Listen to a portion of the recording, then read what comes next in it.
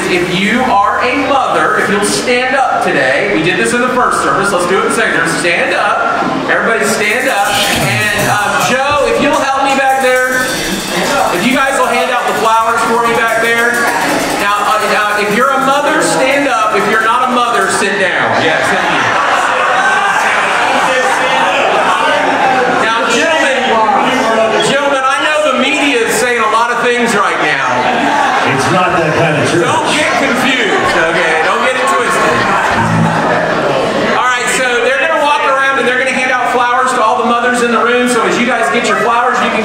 seat. Um, and so as they're doing that, I just want to say a couple things real quickly. So I want to say, first and foremost, we're going to celebrate the mothers that are in our church always, and we really love and appreciate you guys. But I also want to acknowledge that this is not that this is not always an easy day for everyone.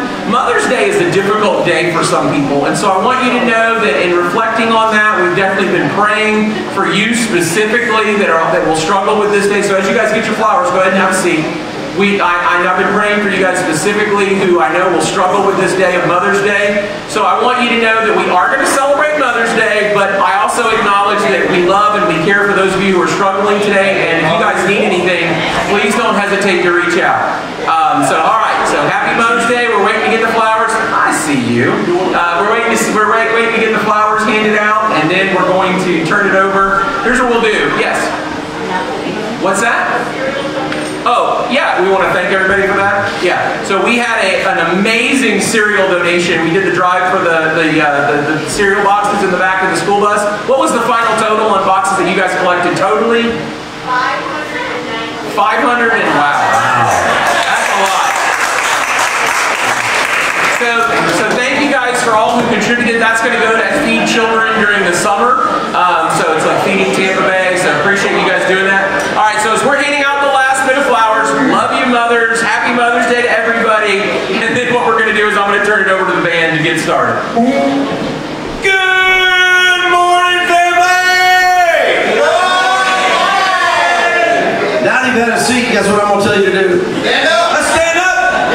Take a deep breath of air. Let's worship the Lord. Stretch. Every single day, you know what I need?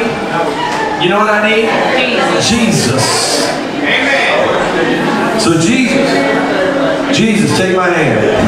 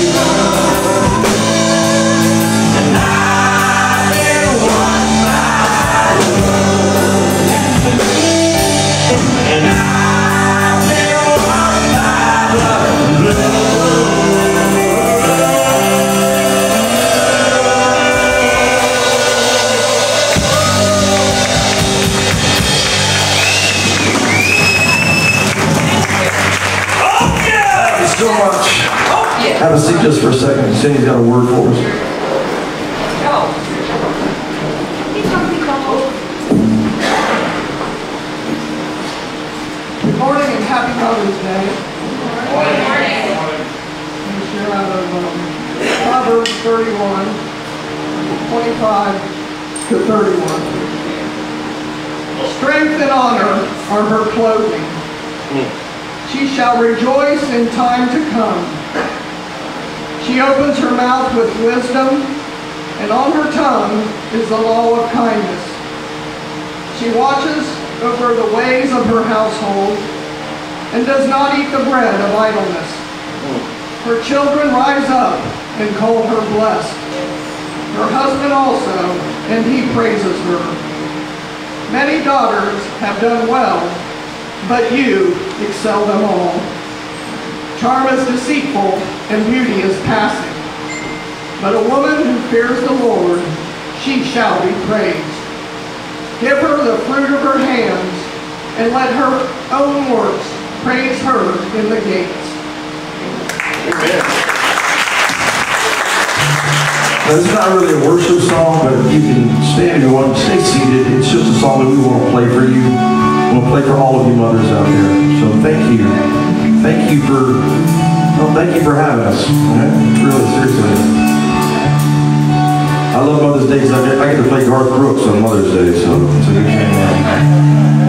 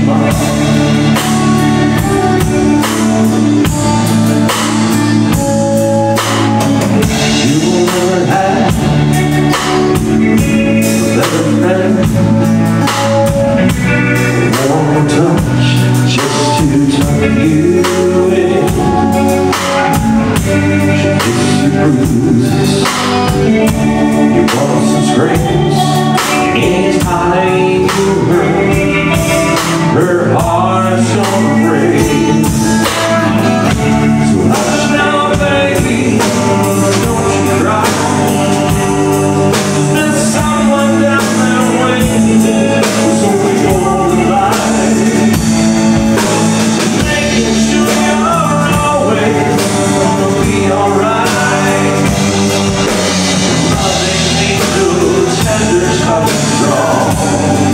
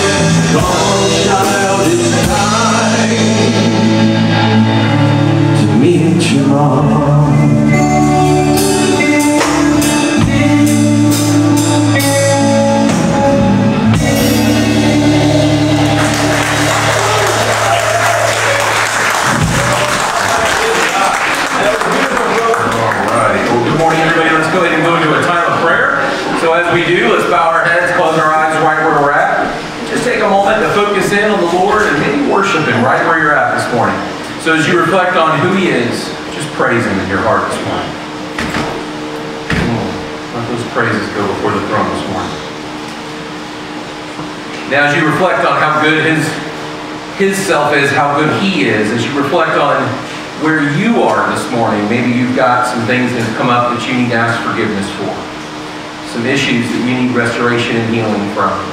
So take a moment, and as those are revealed to you in your heart, just simply ask for forgiveness, ask for restoration, ask for healing this morning.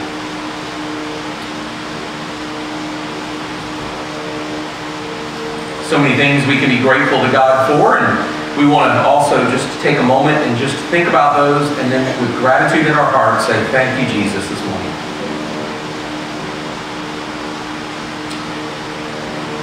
We want to lift up our request. We, our weekly church is One Accord Church here in Plant City. We want to pray for them, and we also want to pray for all the troops, the men and women who are deployed all around the world and what's going on in our world today. But then we also want to lift up your requests. So simply take those requests that are on your heart and speak those out loud right now where we're at this morning.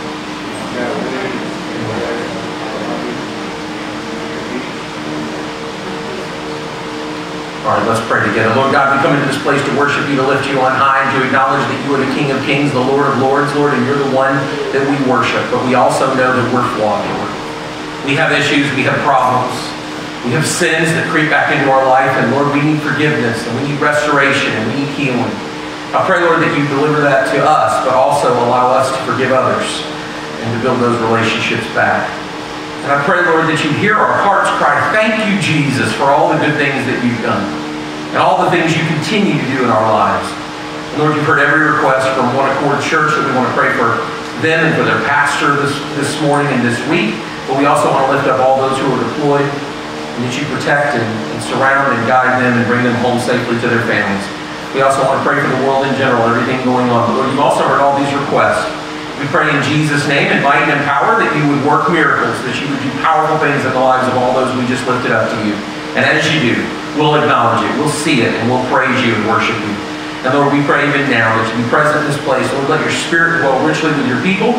Hide me behind the cross as I deliver this message, and I pray that this would totally glorify you and all that's done and said in this room. We love you, we thank you, in Jesus' name, amen. Well, here we go. Uh, we, we finally finished with the book of Colossians last week. Took us a little while, but we got there. And so this week we begin our new series in the book of Habakkuk. And I know some of you were saying, why are you saying it that way? I'm saying it that way because in the Hebrew, the first A is a little quieter, and the second one is where the stress is. So it's Habakkuk, okay? That's how I'm saying it. Um, it is a little strange to say, I have to be honest with you. This is a really cool book, and I'm, I'm hoping that you'll enjoy this as we begin to work through this over the next few weeks. And then, of course, we'll jump back into the New Testament afterward. You know, we go new, old, new, old, and we bounce back and forth.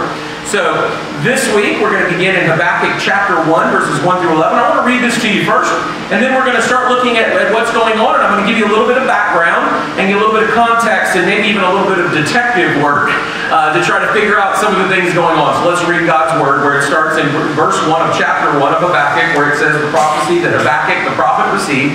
How long, Lord, must I call for help?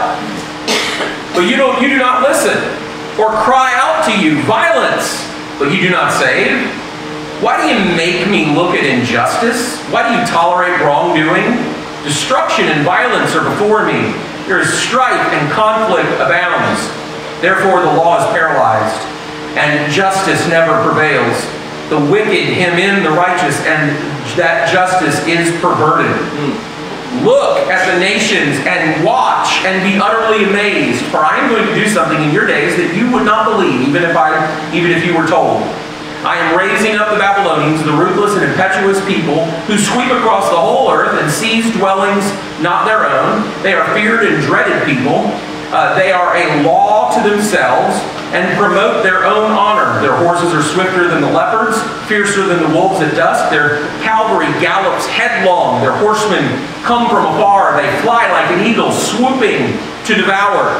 They all come intent on violence. Their hordes advance like the desert wind and gather prisoners like the sand. They mock kings and scoff rulers. They laugh at the fortified cities. They build earthen ramps and they capture them.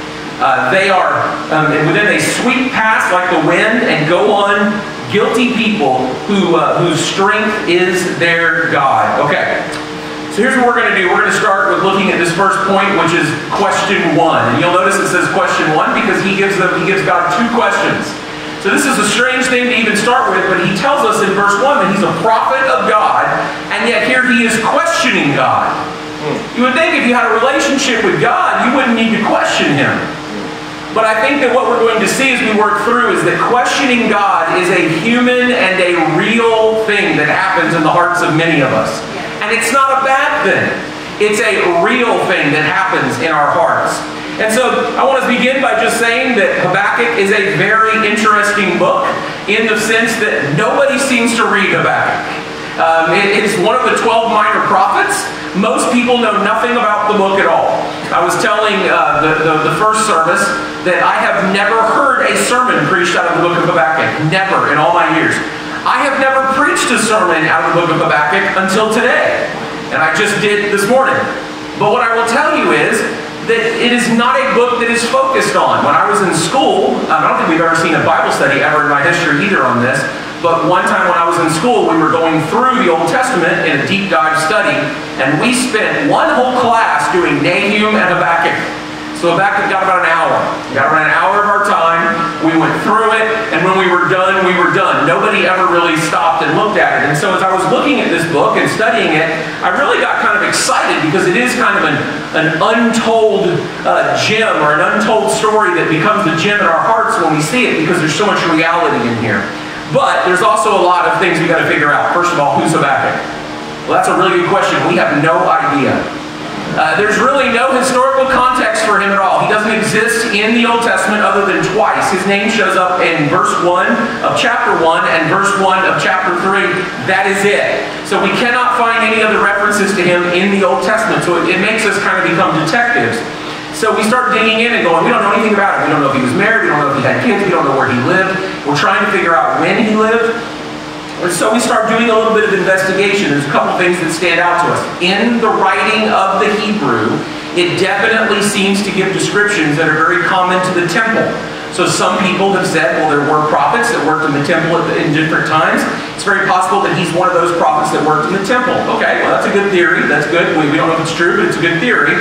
The other thing that comes up is when you look at rabbinic tradition, actual Jewish rabbis, and how they study the passage, they say, some of them, that he is actually the watcher on the wall mentioned in Isaiah 21 6, because they could have been contemporaries.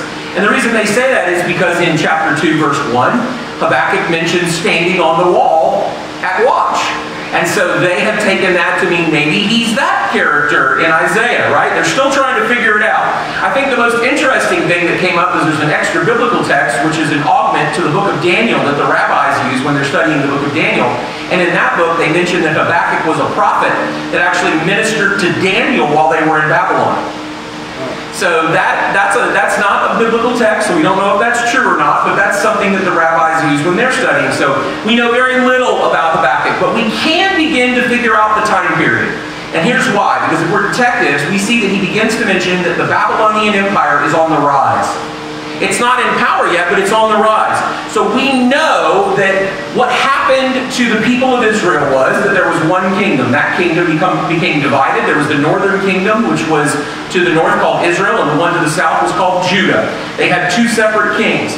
Now we know that the Assyrians come in and they wipe out the northern kingdom at about 742 BC. They destroy it, it doesn't exist anymore. So all that's left is Judah. So at that point, this is probably in that time zone of when he is.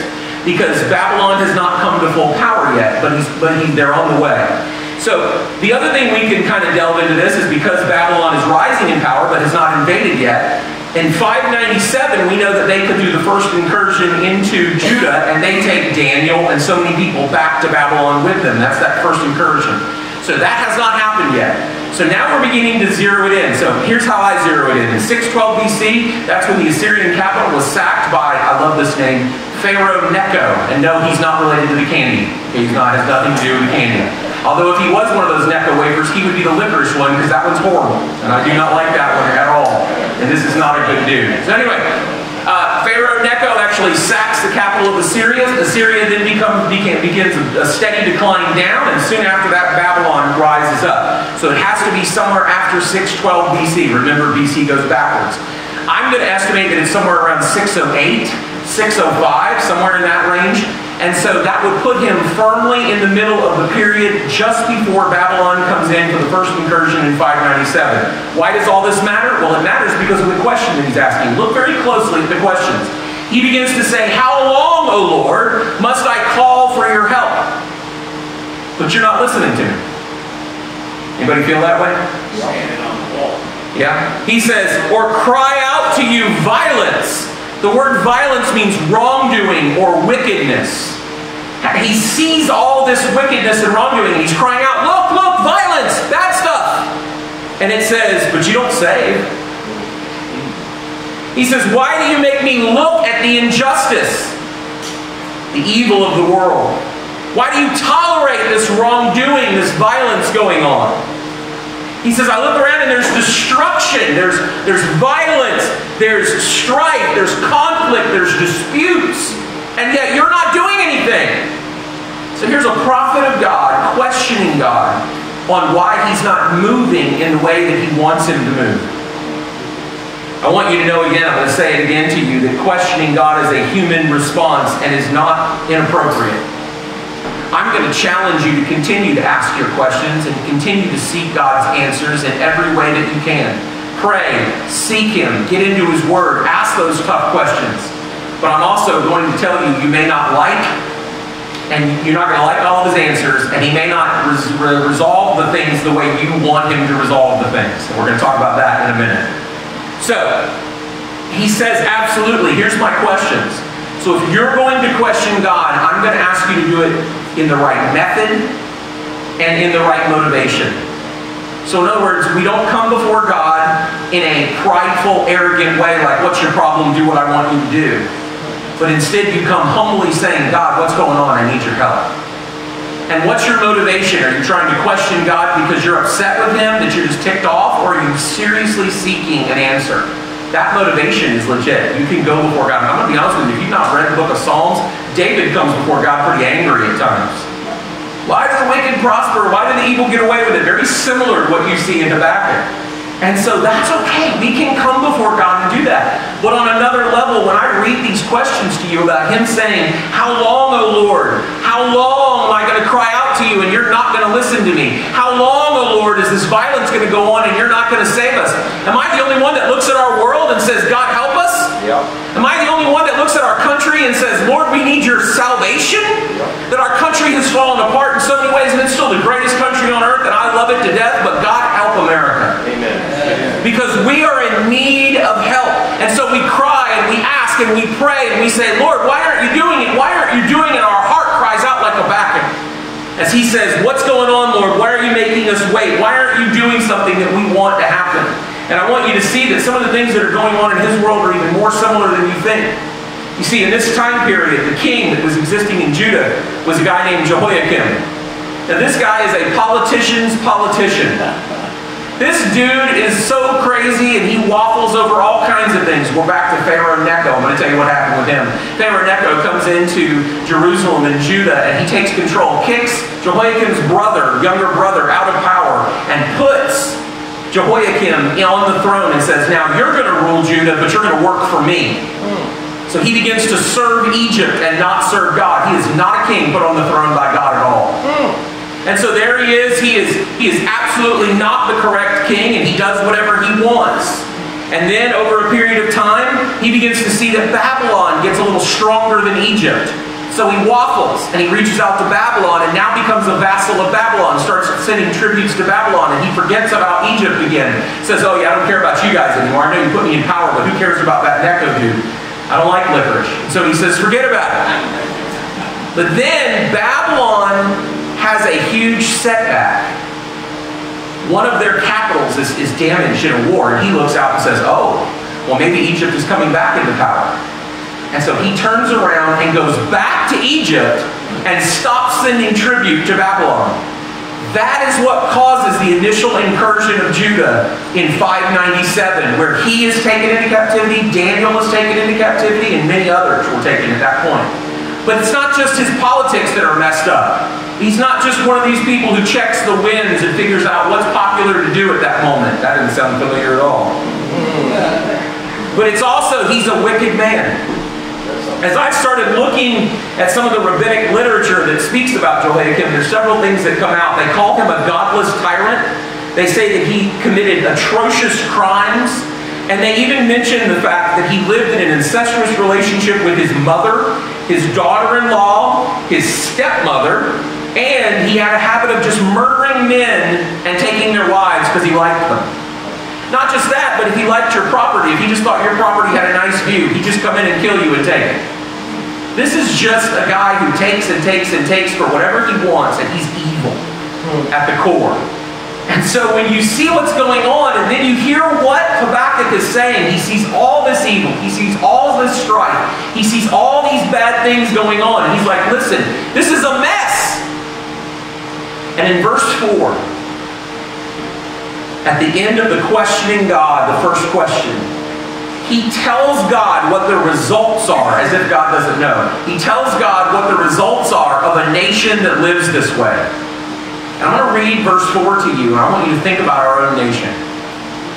He says, Therefore the law is paralyzed you see, the law is supposed to determine what's right and what's wrong. The law is supposed to say this is what we should do and this is what we shouldn't do. The law is the, the, the measuring stick. It's the determination of how we live and what we should do. And he says, listen, it's paralyzed. No one's even using the law anymore. He says, justice never prevails. Instead, injustice rules now. The right thing is not being done, but instead the convenient thing is being done. In fact, when you look around at our world today, do you not see that we have moved into a world where right and wrong do not exist, but instead now we just do whatever we want through what's called situational ethics? People say, oh, it's right for me to do today, but tomorrow when it's inconvenient, it's wrong. I'm going to do whatever I want. Instead of saying there's a right and a wrong, we make up excuses of why it's okay to do what we want to do at this point. And that's exactly what was happening here. He says, the wicked him in the righteous. You see, the people who were trying to serve God, trying to do the right thing, were feeling surrounded. They were feeling trapped. They were feeling herded into places and into situations that they didn't want to be in. Does that sound familiar? When you look at our nation and you see these words, he says, so that justice is perverted. What some things, what some people are calling right is clearly not right, and that is now accepted as the norm in the Baptist world. Well, I'm going to tell you people of God, when I look at America, all I can say is God help us. Yeah, right. When I read these verses, I think to myself, America is a place where the law is paralyzed. America is a place where justice doesn't seem to ever prevail. America is a place where the wicked are hemmed in and trapped. Have trapped the righteous, I should say. And it's a place where the justice that should be held up and seen as the right thing to do is now considered perverted. It does whatever it wants to do. Our country is a mess. And what we honestly need right now is Jesus. And so Habakkuk cries out. But I want to bring to your attention one more thing about his question before we go any further. Because we're going to jump over to God's answer. Am I the only one who noticed that as he's questioning God, he never once, never once acknowledges the responsibility of Judah for their own actions?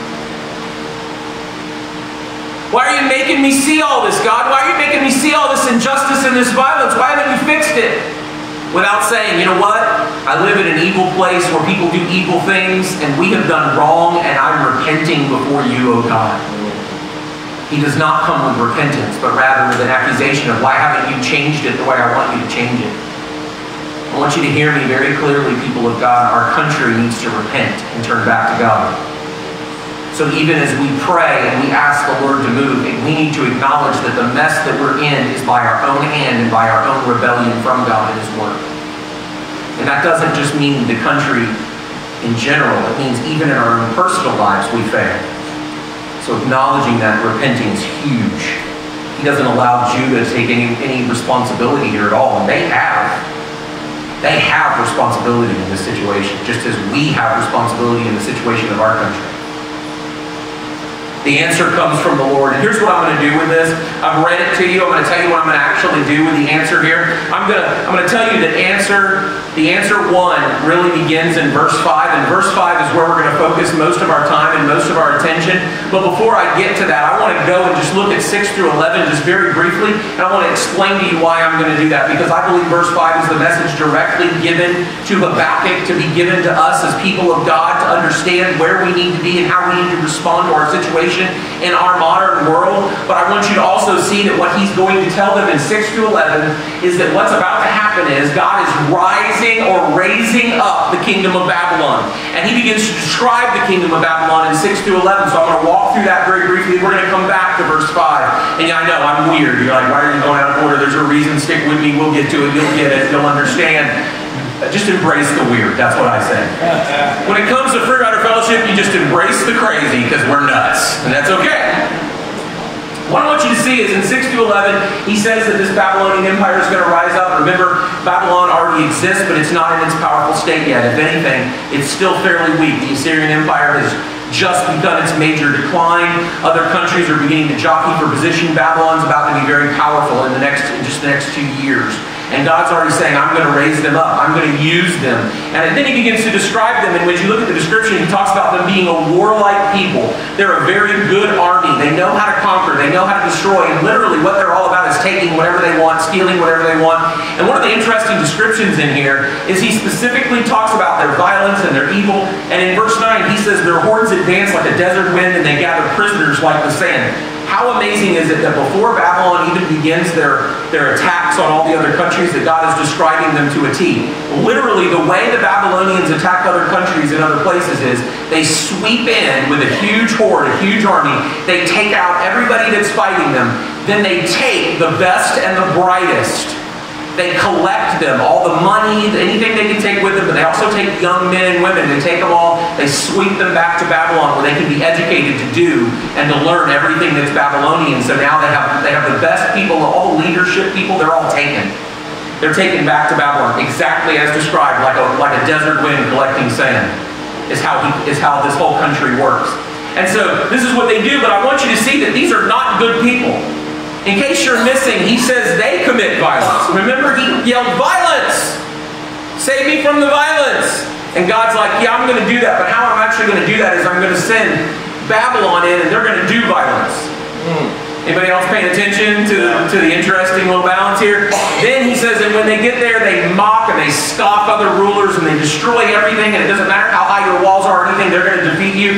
And when they come in, he says that they're, they're just evil people. He even says that they are guilty people, they're sinful people, and that their own strength is their God. In other words, they are prideful and they follow their own strength as opposed to God in general. So, this brings something we have to focus on. Sometimes God uses ungodly and horrible people and nations to discipline and punish God's people. Now, listen, I didn't make this up. This isn't an opinion. I didn't just come up with this on a whim and, and just say, hey, we should just say this from the pulpit. It's in this passage, but it's also in multiple other places in the Old Testament. I'm just going to give you one example. If you just go to the book of Judges, just walk through the book of Judges and see how many times they do the wrong thing, they rebel against God, God sends a nation to conquer them. Once they're conquered, they repent and ask the Lord to save them, and the Lord raises up a judge who saves them from the evil. And then they're like, Yay, we're saved. And they go right back to the evil. And then God has somebody else raise up and conquer them. And then they're saved again when they repent. And we go through this process over and over and over and over again. And these are not good, awesome nations. These are not good, awesome rulers. These are evil people, evil nations. And God is using them to get the attention of the people of God. God help us. God help us, people of God. I, I, don't know what this totally means for our nation, but I know that we are in a situation where we are just as bad as the nation in Habakkuk's time, Judah. And what God does is what God does, and we're going to see what that means here in just a minute. I want you to see in verse 5 now, we're going to skip back to what I said was the main, the main thrust and implication of what we need to do as believers when we face this situation, when we cry out to the Lord, we don't feel like that He's actually answering us. When we are praying and praying and praying and praying, and we don't feel like He's doing what we want in our lives, and where He's not answering the prayer quick enough and in the right methodology that we want, look very closely at verse 5. These are the three things I want you to take away. He says, first and foremost, we are to look and watch and pay attention. He says in verse 5, Look at the nations and watch and be utterly amazed. What is he talking about? God's going, Listen, you're so focused on what you want me to do, you've stopped looking around at what I am doing and what I'm about to do. We need to be people of God who take our eyes off of our own situation long enough to look around at the world that we're in and even the country that we're in and ask the Lord to begin to show us what He's up to. And as we see Him at work, as we see Him moving, let's praise Him. Let's acknowledge it. Let's show gratitude. Let's show thanksgiving to the King of Kings. But we got to have our heads and paying attention to what He's doing. I'm going to tell you one of the coolest things about being a believer to me and being a pastor specifically as a believer is seeing God work in the lives of other people. Man, when you see lives change and the people grow, that's exciting. And that's that, that, that point. God's at work. God's at work. God's at work. Get your eyes off of yourself long enough to look around at what's going on. And when you see God working, live in that anticipatory way of what's God going to do today. If we woke up every morning going, I could be woe is me all day long. But today, here's what I'm going to do. The situation stinks. I don't like it. I want God to do something, but I'm going to start my day out by saying, God, what are you up to? I want to see it, and when I see it, I'm going to praise you for it. Start looking around. Start paying attention. But what's more is, then in verse 5, he says, For I am going to do something in your days. You know what's interesting to me is the second thing that we need to learn from this and take away is not just open your eyes and pay attention, but acknowledge that He is at work in every aspect of our lives and all around us. Not only like we see in Philippians where it's God who's at work in us, both the will and work for His good pleasure and purpose, but also in the world at large. And it says, I'm going to do a great work in your days. Let me assure you that God is not idle, that God is at work. He is working in the hearts of men and women. He is shaping and molding and doing great things. And even though what's about to happen to the people of Judah is not what Habakkuk wants. Habakkuk's probably praying, praying, and we see it, he's praying for salvation. Habakkuk's prayer probably was like, Can you just give us a good king? Can you just take away all the all the evils and the problems and give us a nice, it'd be great if just like everybody in charge would do the right thing. In 597, when the Babylonians roll in, they're going to destroy everything that is the order and the government that's above them people are going to be swept away into captivity. They're going to spend years there. And the nation of Israel will not be restored until the people of God learned how to reach back out and trust Him. And then we see the rebuilding. And then Nehemiah begins to rebuild the wall. And all those things begin to happen. You see, what Habakkuk wants to happen is not what God's about to do. I want you to also notice that he says, I'm already at work. You pay attention. I'm going to do a work in your days. God is at work. He's not idle. He's working in your lives. He's working in our country. Pay attention, see it, believe it in faith. And even when you can't see it, believe it in faith. But I'm going to tell you right now that what he's about to do may not be what we want him to do.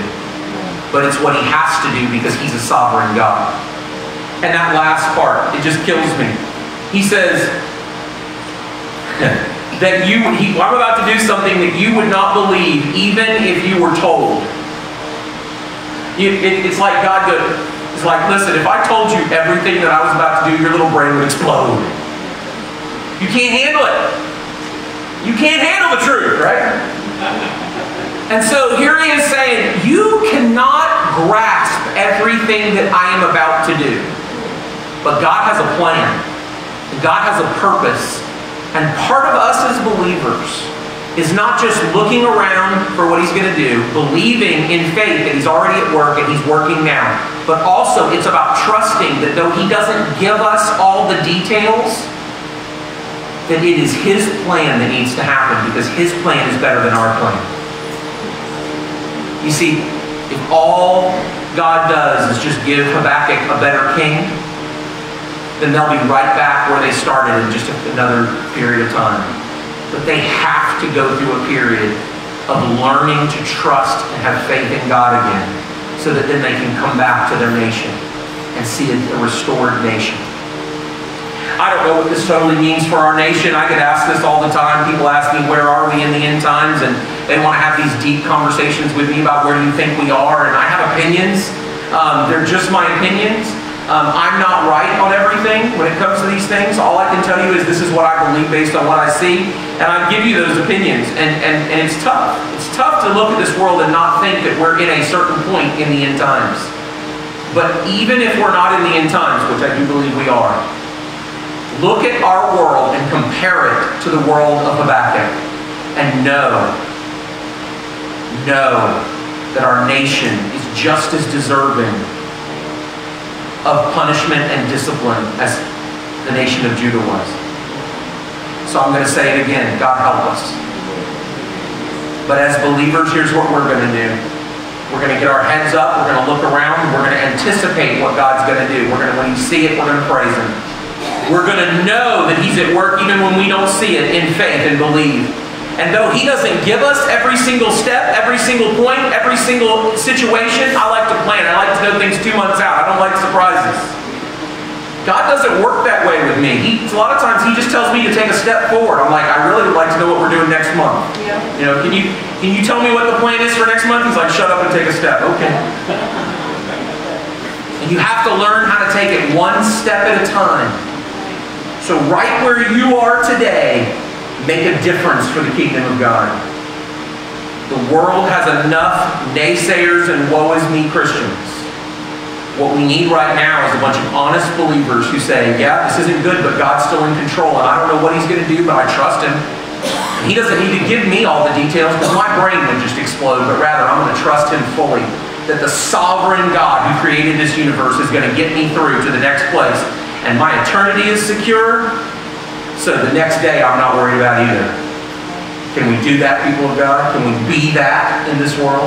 If we can, maybe we'll see some revival in a country that desperately needs it. Heads bowed, eyes closed. We come into a time of closing out the service, I'm just going to say this. If you're in this room today and you don't know Jesus as your Savior, we're talking about putting our faith in God, and you're like, what's this all about? Well, with heads bowed and eyes closed, I want you to know that the Lord loves you, that He sent His Son to die for you on a cross to pay the price for your sin and give you new life. And if you're here today and you've never invited Him into your heart, this is a great opportunity for you to simply cry out to Him. Scripture says in Romans that whoever cries upon and calls upon the name of the Lord will be saved. So we're going to ask you to call upon the name of the Lord today in your heart and just ask Him to save you. So if you'd like to do that today, just simply in your heart, just to yourself, just simply pray and say, Jesus, save me. Thank you for dying for me. I want your free gift of salvation this morning. Come into my heart, make me new. And then say, thank you, Jesus. Heads are still bowed, eyes are still closed. I want you to know, believer, as you struggle and challenge and even question God in your own faith, just keep that conversation open with the Lord and let Him speak to you. And trust that He's in control. What we're going to do right now is as the music begins to play, I'm going to open up for a time of invitation that I'm going to pray with you. Butch is not here today, so it's just going to be me up front. But if you'd like for me to pray with you, now is the time to come.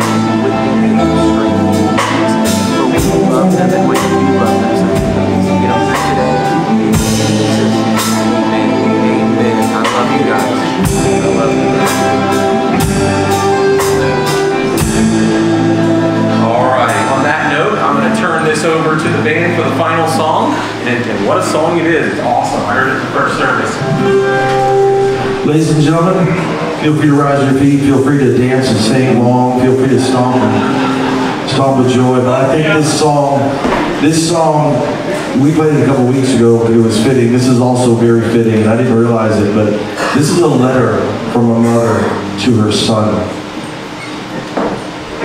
I'm sorry, I'm going to cry right now. I've never cried over this song before, but if you think about it this way, this is a letter from a mother to a son. No matter what happens, just be simple. Know that God is there. Know that Jesus loves you. And so that's all I got to say about that. So let's sing the song together, shall we?